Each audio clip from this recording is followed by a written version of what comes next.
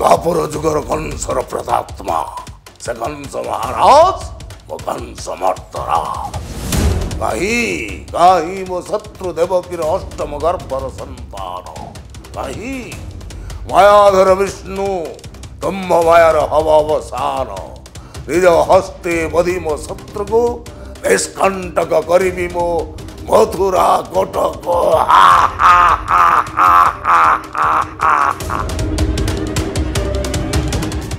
ନମସ୍କାର ଦର୍ଶକ ବନ୍ଧୁ ମୁଁ ମନୀଷା ଆପଣମାନଙ୍କୁ ସ୍ୱାଗତ କରୁଛି ଅର୍ଗସ୍ ନ୍ୟୁଜ୍କୁ। ତାଙ୍କ ଏଣ୍ଟ୍ରିରେ ମଞ୍ଚ ଥରି ଉଠେ। ସେ ଯୋଉଠି ଥାନ୍ତି ସେଇଠି ନାଟକର ନାଁ ଲେଖାଯାଏ। ସେ ହେଉଛନ୍ତି ଯାତ୍ରା ଜଗତର ଟାଇଗର।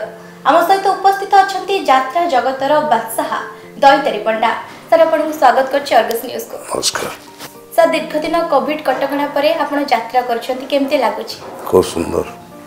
ଦେହ କେମିତି ଅଛି? ଭଲ ଅଛନ୍ତି ଚାଲିଛି ସାର୍ ଏବେ ବି ମଞ୍ଚ ଉପରକୁ ଆପଣ ଆପଣଙ୍କର ଏଣ୍ଟ୍ରି ହେଲେ ଲୋକମାନଙ୍କର ମନରେ ଭିତରେ ଗୋଟେ ଆଗ୍ରହ ଉଦ୍ଦୀପନା ଥାଏ। କେମିତି ଏତେ ବର୍ଷ ହବ ଲୋକମାନଙ୍କୁ ବାନ୍ଧି ରଖୁଛନ୍ତି ଆପଣଙ୍କ ନାଟକରେ?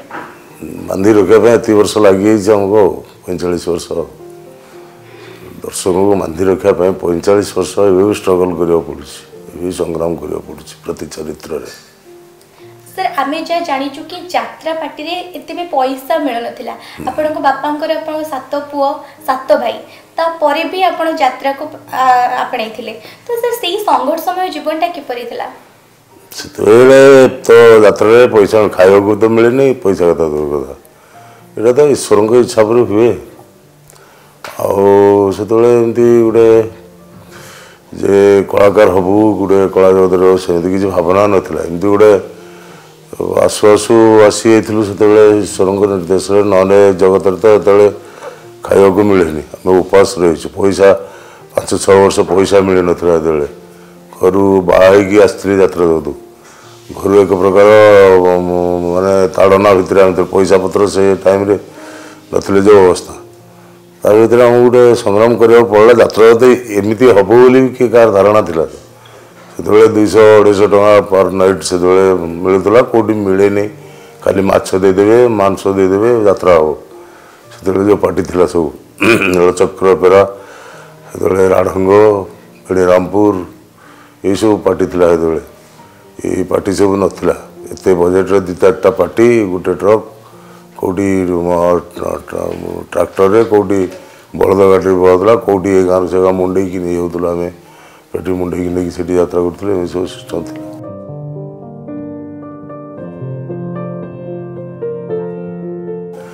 ଆସ୍ତେ ଆସ୍ତେ ଦର୍ଶକଙ୍କର ଭଲ ପାଇବା ବଢ଼ିଲା ନାଟକ ରୁଚି ବଢ଼ିଲା। ନାଟକ ସବୁ ଭଲ ଭଲ ନାଟକ ଆଇଲା ମାଲିକମାନେ ପଇସା ରୋଜଗାର କଲେ ଆର୍ଟିଷ୍ଟମାନଙ୍କ ଆସ୍ତେ ଆସ୍ତେ ଦରମା ବଢ଼ିଲା।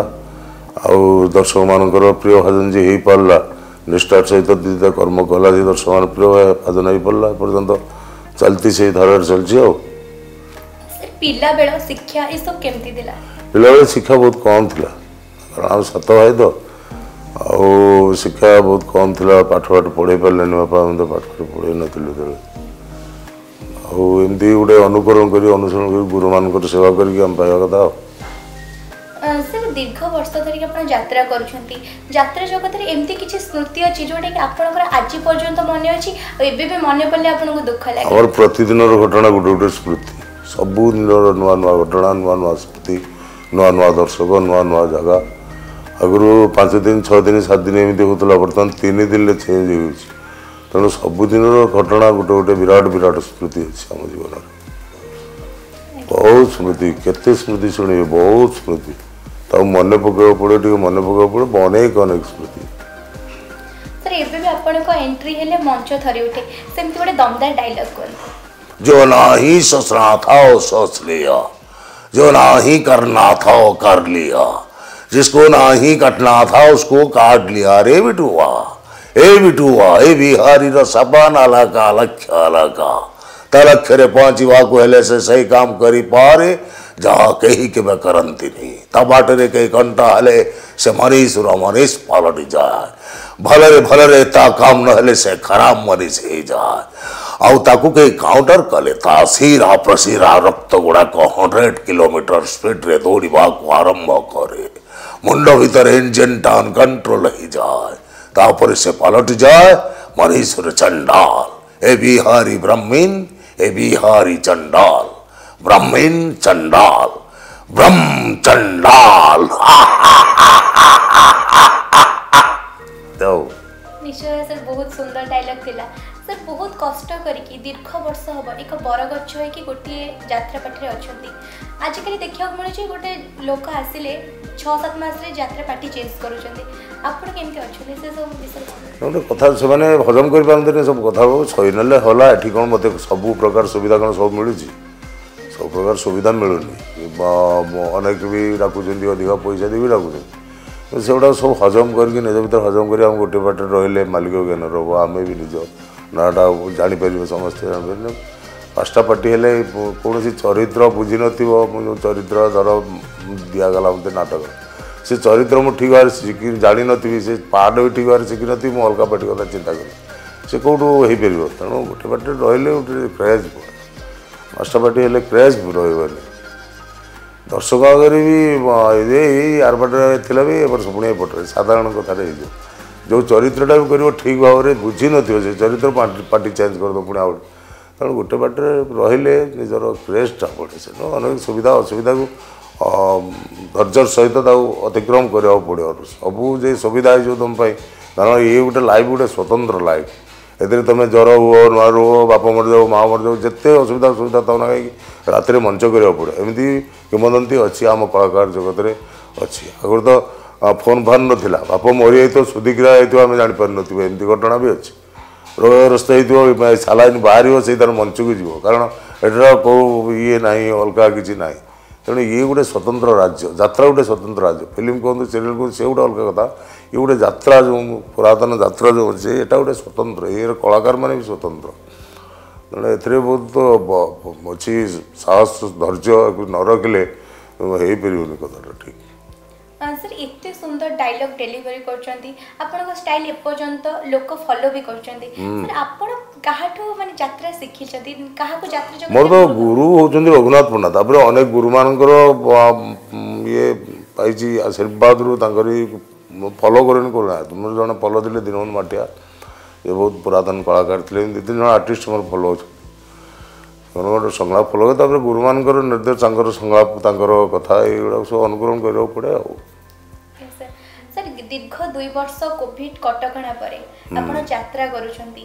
ଭଗବାନଙ୍କୁ ଦୈତାରୀ ପଣ୍ଡା କେତେ ମାନନ୍ତି? ଓ ଏକଦମ ସାକ୍ଷାତ। ତାଙ୍କର ନିର୍ଦ୍ଦେଶ ନହେଲେ ଗଛର ପତ୍ର କଅଁଳେନି ପବନ ବହେନି ଆଉ ତାଙ୍କୁ ମାନିବନି କେମିତି? ଏମିତି କିଛି ସ୍ମୃତି ଅଛି? ଭଗବାନ ଆପଣଙ୍କ ଜୀବନରେ କିଛି ମିରାକିଲ ଆଉ କରିଛନ୍ତି ମିରାକିଲ ନାହିଁ ମିରାକିଲ ନହେଲେ ମୁଁ ଗୋଟେ ସାଧାରଣ ପାଠ ରାଠ ପଢ଼ିନି। ଏଇଟା ତ ମୋ ପାଇଁ ମିରାକିଲ ନା ଗୋଟେ ସାଧାରଣ ମଣିଷ। ଗୋଟେ ଆ, ମୋ ଷ୍ଟ୍ରଗଲ୍ ଲାଇଫ୍ ତ ବହୁତ ଷ୍ଟ୍ରଗଲ୍ ଲାଇଫ୍ ତାକୁ ଅତିକ୍ରମ କରି କଳା ମଞ୍ଚରେ ତା ଏଇ ତ ଜଗନ୍ନାଥ ଜଗନ୍ନାଥଙ୍କ ଦାନ ଆଉ ସାକ୍ଷାତ ଦ- ଜଗନ୍ନାଥ ନା ଜଗନ୍ନାଥଙ୍କ ଦାନ ହେଇନଥିଲେ ଆମେ କେମିତି ଏତେ ବାଟ ଆସିପାରିଥାନ୍ତୁ ତେଣୁ ପ୍ରତି କ୍ଷଣରେ ତାଙ୍କର ସ୍ପର୍ଶ ମୁଁ ପାଇଛି ତାଙ୍କ ସାନ୍ନିଧ୍ୟ ପାଇଛି ଜଗନ୍ନାଥଙ୍କର ସେମିତି ସଂଳାପ ଜଗନ୍ନାଥ ଯାହା ହୁଁ, ପୁଅ ପୁରେ ପୂଜା କରିବ ଗଡ଼ିଗଲା ବୟସରେ ଠାକୁର ଦିଅ ଦେବତାଙ୍କ ଭଳି ଅରେ ଅନ୍ତିମ କାଳରେ ପାଟିରେ ଟୋପେ ପାଣି ଦବ ଅନ୍ତିମ ସଂସ୍କାର କରିବ ଏଇଥିପାଇଁ ବୋଧହୁଏ ମଣିଷ ପୁଅଟେ ଇଚ୍ଛା କରିଥାଏ ଏ ପୁଅ ମୋତେ ପୂଜା ନ କଲୁ ନାହିଁ ମୋ ସେବା ନ କଲୁ ନାହିଁ ଅନ୍ତିମ କାଳରେ ପାଟିରେ ଟୁପେ ନିର୍ମାଲ୍ୟ ପାଣି ଦବୁ ରେ ଏତିକି ତ ବେଇମାନ ବାପର ତୋ ପାଖରେ ଅଳିରେ ପୁଅ ଏତିକି ତୋ ପାଖରେ ଅଳି ସେ ବହୁତ ସୁନ୍ଦର ଥିଲା। ସାର୍ ଯେମିତିକି ଆପଣଙ୍କୁ ସମସ୍ତେ ଅଭିନୟରେ ଖଳନାୟିକା ଭୂମିକାରେ ଦେଖିଛନ୍ତି କିନ୍ତୁ ଆପଣଙ୍କ ବ୍ୟକ୍ତିଗତ ଜୀବନକୁ ଦେଖିବାକୁ ଗଲେ ସମସ୍ତେ କୁହନ୍ତି ଦୈତାରୀ ପଣ୍ଡା ବହୁତ ଭଲ ମଣିଷଟିଏ। ଦୈତାରୀ ପଣ୍ଡା କାହାକୁ ମନ କେବେ ମନ ଦେଇଛନ୍ତି କି? ହୁଁ ଆଉ ମନ ନ ଦେଇଥିଲେ ମନ କିଣିବ କେମିତି? ମନ ଦେଇଛି ନା ମନ ଦେଇଛି ନହେଲେ ମନ କେମିତି ପାଇବି? ଏତେ ଦର୍ଶକଙ୍କର ମନ ପାଇଛି ନା ଆଉ? ତେଣୁ ମନ ଦେଇଛି ବୋଲି ମନ ପାଇଛି ନା ମନ ନ ଦେଇଥିଲେ ମନ ପାଇଥାନ୍ତି କୋଉଠି? ଆଜ୍ଞା। ମାନେ ଆପଣ ଆପଣଙ୍କ ଦର୍ଶକମାନଙ୍କୁ ମତ ମନ ଦେଇଛନ୍ତି। ସେ ଯେବେ ବି ଆପଣ ଫାଷ୍ଟ ଯାତ୍ରା ଜଗତକୁ ଆସିଲେ ଘରେ ବେଶୀ କିଏ ସପୋର୍ଟ କରିଥିଲେ? ବାପା ଶୁଣିକି କ'ଣ କହିଲେ? ବାପା ଖୁସି ଥିଲେ? ମା ସପୋର୍ଟ କରିଥିଲେ ବେଶୀ। ବାପା ସପୋର୍ଟ କରୁନଥିଲେ। କାହିଁକି ତାଙ୍କର ପଇସା ଦରକାର। ବଡ଼ ପୁଅ ଖଟିବ କେଉଁଠୁ ଆଣିବ ତୁ ଯାତ୍ରା ବାଟେ ଯାଇ ବୁଲିବୁ। ସେତେବେଳେ ଯାତ୍ରା ଆଖଡ଼ା କାନ୍ଥାଡ଼ା ଏମିତି ସବୁ କଦର୍ଯ୍ୟ ଭାଷା ଥିଲା। ଏମିତି ମୋ ମା ମାଆକୁ ବି ଗାଳି ଦିଅନ୍ତି। ଏ ପୁଅ ତ ଯାତ୍ରା ବାଟରେ ରହୁଛି ଏମିତି ଯେତେବେଳେ କେହି ବାଇକ୍ କରୁନଥିଲେ ସାଧାରଣ ବର୍ଗର ପିଲାଟିଏ ଯାତ୍ରା ଯାଉଥିବ ଆସିବା ଭାରି କଷ୍ଟ।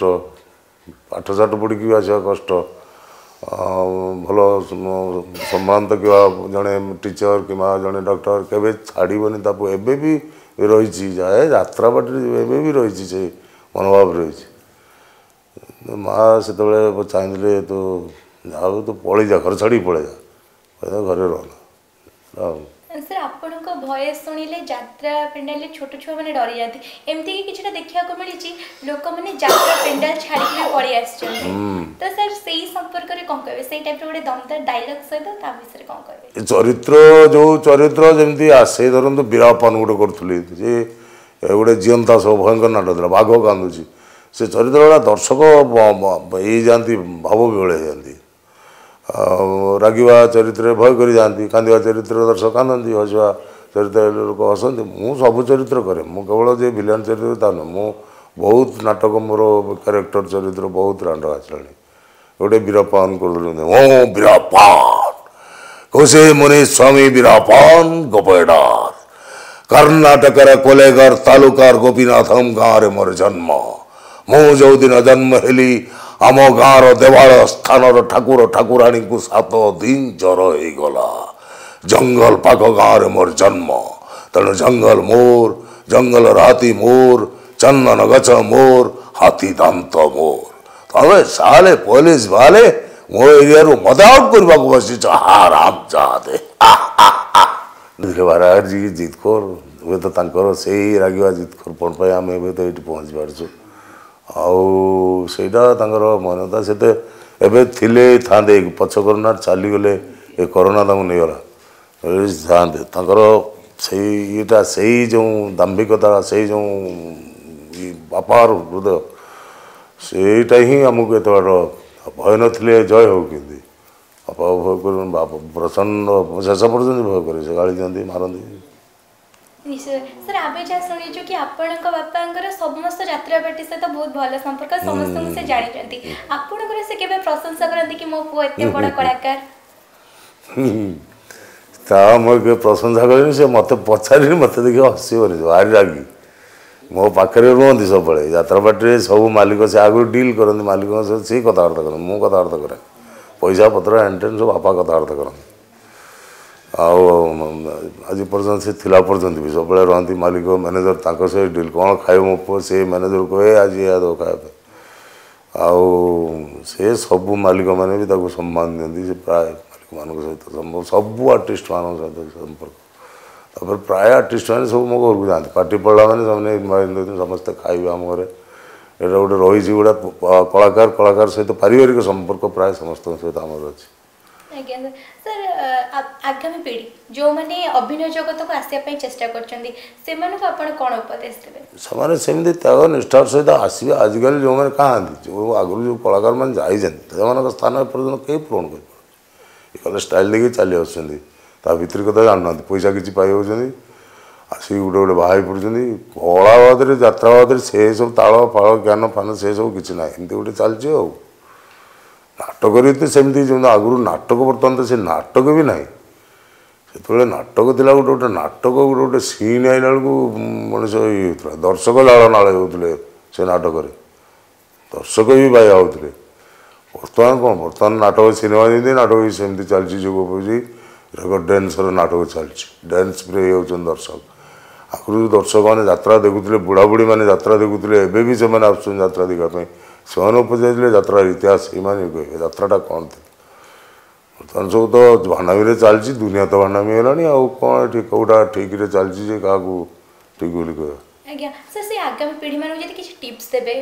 ତେଣୁ ସେମାନେ ଆସନ୍ତୁ ସେମାନେ ଆସନ୍ତୁ ଶିକ୍ଷା ଲାଭ କରି ଆସନ୍ତୁ ଯାତ୍ରା ବାବଦରେ ଜାଣନ୍ତୁ ଯାତ୍ରା କଳା ଗୋଟେ ସ୍ୱତନ୍ତ୍ର କଳା ମଞ୍ଚ କଳା ଗୋଟେ ନିଆରା କଳା ସେଥିପାଇଁ ତ୍ୟାଗ ଦରକାର ନିଷ୍ଠା ଦରକାର ଧୈର୍ଯ୍ୟ ଦରକାର।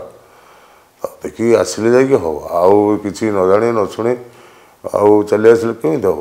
ଠିକ୍ ଭାବରେ ଆସନ୍ତୁ ନିଶ୍ଚୟ ଭଗବାନ ତାଙ୍କୁ ଉଚ୍ଚକୁ ନେବେ।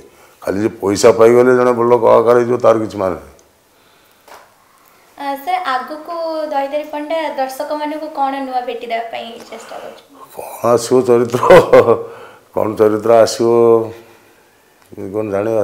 ରାଇଟରମାନେ ଲେଖିବେନି ଆମ ଚରିତ୍ର ଲେଖା ହେବ ପୁଣି ନେକ୍ସଟ କ'ଣ କରିବୁ ଆଉ। Yes. ସାର୍ ଆପଣଙ୍କ ପାଇଁ ଶେଷ ପ୍ରଶ୍ନ। ଏକ ଦ୍ୱନ୍ଦ୍ୱ ଡାଇଲଗ ସହିତ ଆମ ଶୋ ଶେଷ କରିବା।